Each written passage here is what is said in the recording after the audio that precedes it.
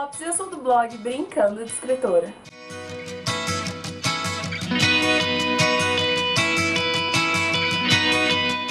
Hoje eu tô aqui pra responder mais uma tag, que é meu chuchu cupcake literário. Deu a ideia, mais ou menos assim, é que teve uns vídeos pra trás que eu pedi ideia de tags literárias que eu ainda não tivesse respondido e ela me passou uma lista grande demais e que eu já tô planejando pra gravar todas, entendeu? Então essa é só mais uma dessas. O nome da tag é Virais da Internet Book Tag e quem criou foi o canal da Tereza Andrada e o link pro vídeo original é claro que vai estar aqui embaixo, como sempre. Eu não sou a maior conhecedora de virais da internet, vou contar pra vocês. Porque sempre quando eu percebo alguma coisa vou assistir, o negócio é velho. É raro os virais que eu assisto quando ainda estão na moda, assim, falando. Muitos que eu não conheço, muitos eu joguei no YouTube pra ver como é que eram, então Número 1. Um, Emo, Gótica, Vampira e Roqueira. Um livro com um personagem deprimido.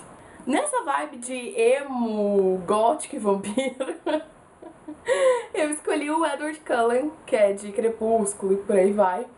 O Edward é deprimido? Não exatamente.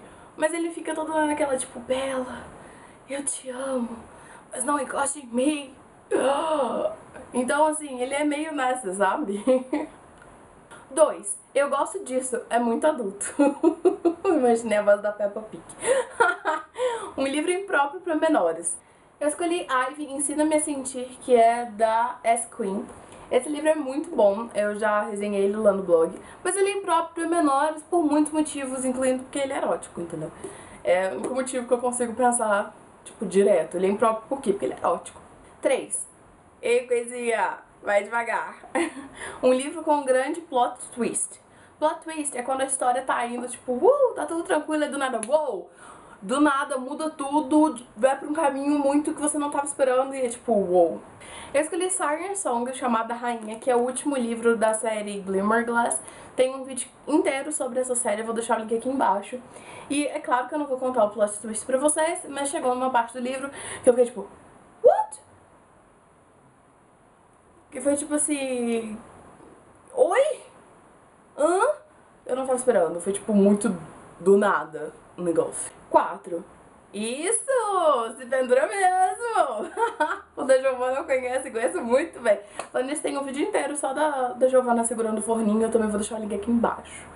É um livro em que a personagem faz uma cagada atrás da outra. Eu escolhi Geek Girl, que é da Hollis Mail. A personagem principal, ela é ótima, o livro é maravilhoso. Só que ela só faz cagada. Porque, tipo assim, ela é uma geek. Ela nunca quis ser, tipo assim, modelo. E aí ela caiu nesse mundo da moda e ela não tem ideia do que ela tá fazendo. Então ela faz muita cagada por conta disso. Mas assim, são cagadas engraçadas, porque são coisas que quem não entende nada de moda faria também. Então é, é, são cagadas com motivo por trás. É. Cinco, me chama que eu vou. Um livro que se passa em um mundo lugar para o qual você iria sem pensar duas vezes. Duh. gente, é claro que é Harry Potter, gente. Me manda pra Hogwarts que eu já tô lá, tudo bem que eu já não tô mais na idade, mas a gente vai mesmo assim. Minha coruja pegou a gripe do frango e nunca chegou com a minha carta. O que eu posso fazer? Falando nisso, que foi o trailer de Os Animais Fantásticos de Onde a Vida, gente, eu ainda não me superei. Ah, eu não tenho mais idade pra essas coisas não, gente. Não tenho mais idade. Seis. Tava bom, tava ruim, agora parece que piorou. Um livro, ou série, que começou bem, mas que acabou mal. Eu escolhi Azul da Cor do Mar, que é da Marina Carvalho. Eu adoro essa autora, adoro os outros livros dela, basicamente. e tipo assim, o livro começa muito legal, de uma forma muito boa. Tem cenas que se passam na minha cidade. A Marina adora escrever livros e coisas nas minhas cidades, mas isso não é o caso agora. Só que eu achei o final tão. Sabe? Tipo assim, entregou a resposta e acabou. Você passa o livro inteiro tentando entender uma coisa. E aí chega no final, explica em duas páginas e acaba. Tá, não foi em duas páginas, mas eu acho que deu pra entender. O final foi muito rápido e até um pouco confuso. Assim, foi muito, uou, wow, toma o final aí. E eu fiquei tipo, what? Sete, no céu tem pão e morreu. eu já vi tanto meme com isso. Um livro com um final emocionante. Tem vários livros com finais emocionantes. Harry Potter podia estar aqui de novo e por aí vai. Mas eu escolhi Maybe Someday da Colin Hoover, porque, sim, o final desse livro, ele é muito emocionante, ele é muito tipo... Então eu tive que escolher esse livro por conta disso, porque eu amo e porque post-it, né, mostra muito sobre o livro. 8. Bota a salchucha.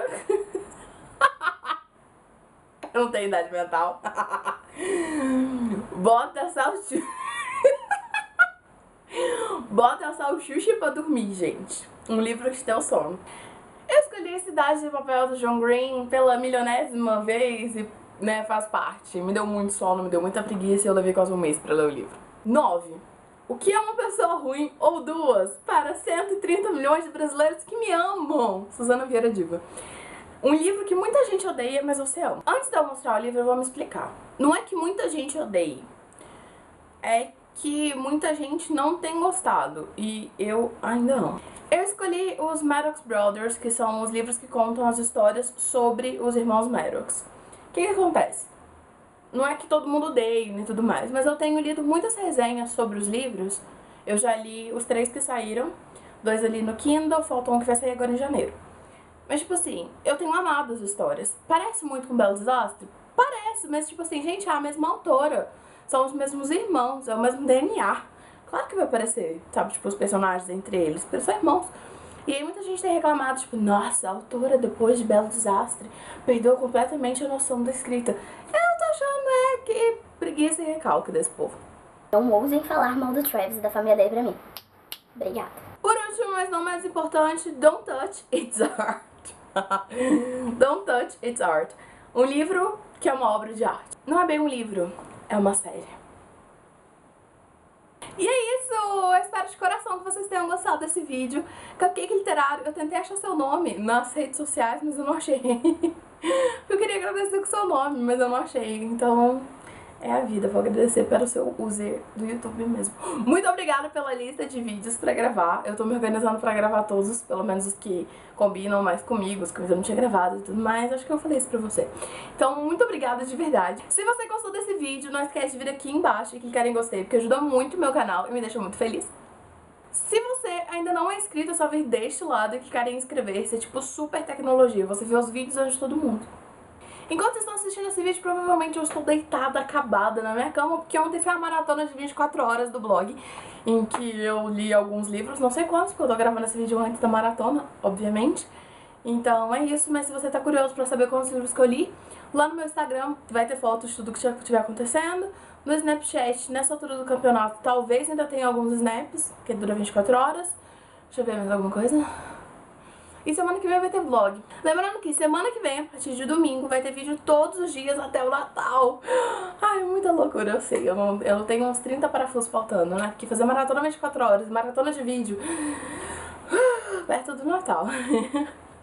Eu espero de coração que vocês tenham gostado. Eu vejo vocês no próximo vídeo. Que agora eu sei que é domingo, eu posso falar isso, porque certeza. Muito obrigada por assistir o vídeo até o final e tchau!